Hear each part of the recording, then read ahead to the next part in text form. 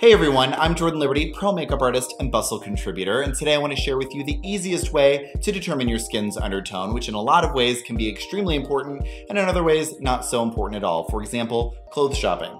When I go clothes shopping, I don't bring a list of colors I'm allowed to wear. I look in the mirror and I see what color looks the best against my skin. And that's how we're gonna do it today. Because undertone is so important when picking out a foundation shade, makeup shopping is the best time to figure out your undertone. Gold or red are the standards, or sometimes neutral, which most of the time also includes those olive undertones.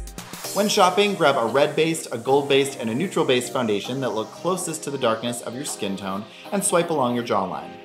The shade that looks the least unnatural and most like it blends with your skin is the winner. Just be aware that you might have to adjust lighter or darker within your tone to make it perfect for you. So for example, if you swatch a red-based foundation and you have a golden undertone, that red swatch is gonna look extremely pink on your skin, which is gonna tell you that you're more on the gold side. And you'll notice that when you swatch that gold foundation, it's gonna look much more natural.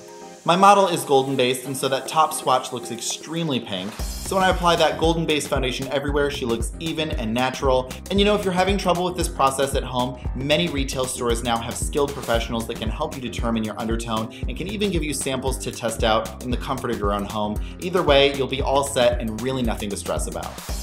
Personally, I think this method is much easier than trying to determine your undertone using the color of the veins on your wrists or colors of clothing that look nice on you because that can be very subjective and not extremely accurate. So I definitely prefer to let the foundation do the walking. And that's really it. I hope you guys enjoyed this video and can't wait to bring you a new one very soon. Thanks so much.